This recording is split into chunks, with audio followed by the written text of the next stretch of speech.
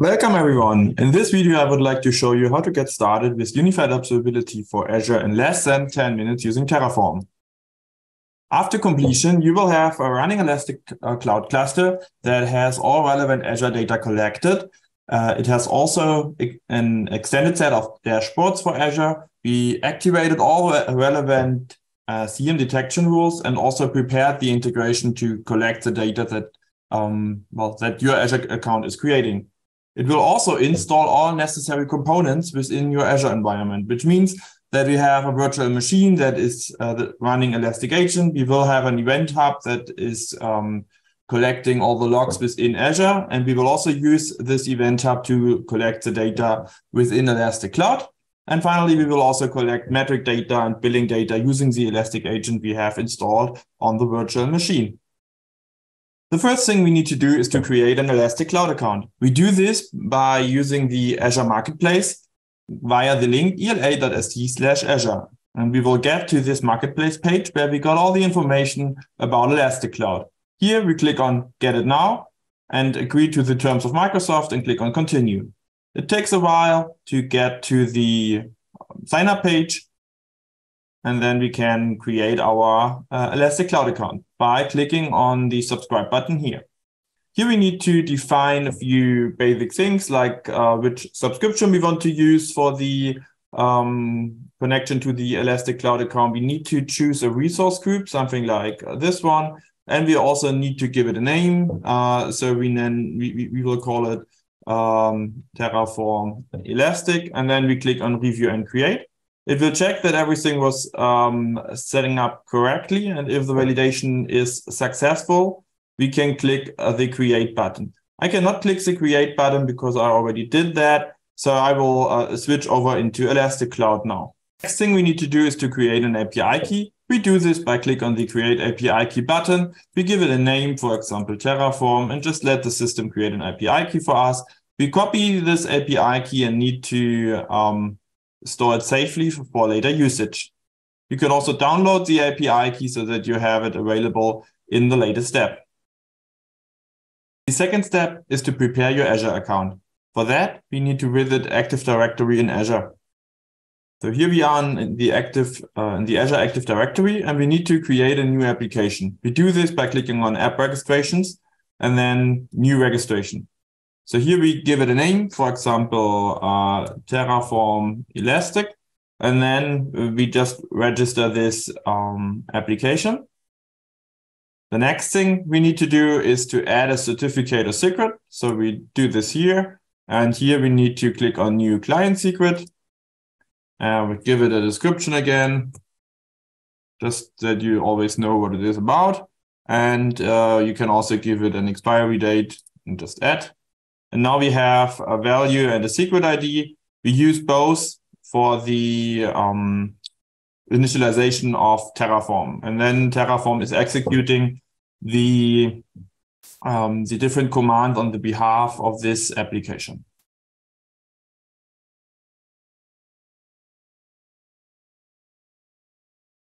Finally, in the third step, we need to run Terraform.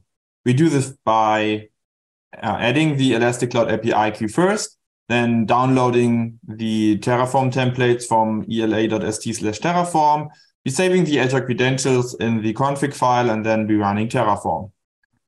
So the first thing we need to do is to create an environment variable within our terminal. So for Linux, uh, you just use the terminal is available. Same holds for macOS.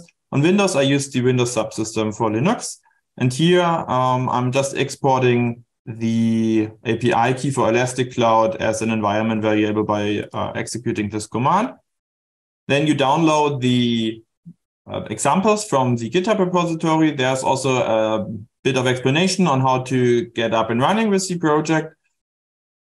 What you do now is to, uh, for Azure, you go into the multi-cloud directory, create a local env directory and the azure.json file. And here you add your credentials that we just created from your uh, from, from the app registration within Azure Active Directory. What we need to do is to uh, use the Azure Client ID and Azure Client Secret, as well as the Azure Tenant ID and Azure Subscription ID to make sure that we have all the necessary credentials for the uh, Elastic Agent integration.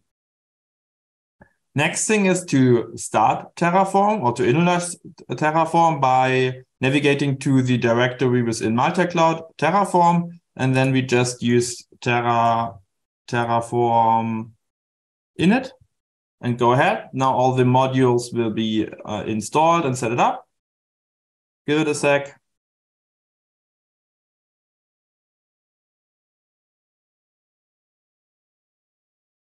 Okay, finally, we need to apply our Terraform plan.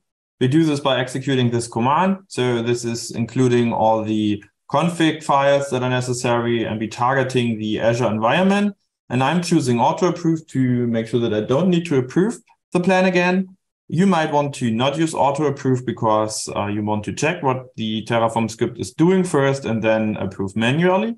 You will also find this command within the GitHub repository that, so that you can so that you can just copy paste it. Let me execute it. So it uh, takes a while to make this happen, and then we will see that um, Terraform is listing all the plan changes that need to be done and all the tasks that needs to be done, and then it will automatically execute all the scripts.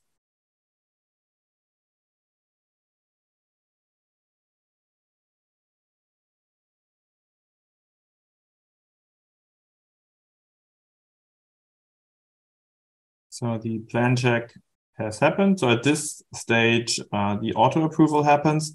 On your case, you can uh, choose to um, make the approval now. Now we will see that it's um, doing a lot of things. We will also see in a second that our Elastic cluster uh, gets created.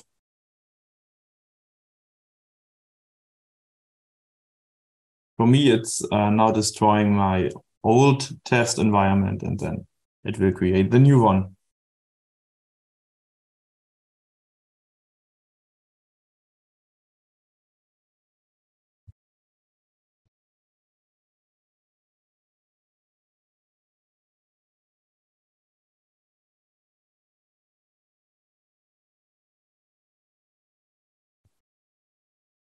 So at this stage, we can see that the Elastic deployment will get created. So we see this here. And if we now switch to the Elastic uh, Cloud Portal, where we created the, um, the Elastic Cloud API key, we will also see that the cluster is getting created in the latest version and is everything is getting in that needs to get in.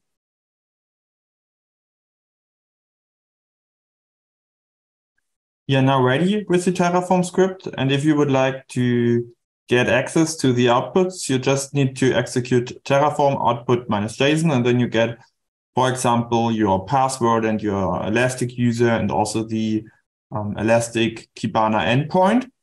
But uh, the much easier way is to access your deployment via the Elastic Cloud Portal. So uh, you just click here on the freshly created environment then you click um, next to Kibana on open and you get into the Elastic cluster now. And we will access in Kibana here. And now we are on the getting started page. You can get familiar with the system. Um, or you just uh, have a look into what is happening. So if we, for example, look into the dashboard section, we will see that there are a couple of um, Azure dashboards pre-installed now um, for all the different things um, that we might have collected. And you just cast, you can just choose the Azure Overview dashboard here. That will include a couple of metrics that are necessary for you. It can happen that some of the um, visuals will show error messages like this. This is just because uh, the environment is pretty new. And in this case, there was no successful um, so there was no um, rule triggered that uh, already finds something. So there is just no issue at the moment and there is no risk at the moment. And that's why it is empty. And after it is not empty anymore, we will see some data here. As you can see, we um, have a couple of uh, different subscription collected uh, across all the regions, many different data sources. Uh, you can jump into more detailed dashboards over here. And you can just uh, scroll down to get more info about the infrastructure itself, about the storage, and about the cost that you are that we are spending here. And for example, we can also click into one of those uh, positions, analyze the costs, and then we get deeper into another dashboard that shows us more about the costs of your Azure environment. And with that, I will say thank you, and I hope you have a lot of success by executing our 10 minute Terraform script. Goodbye.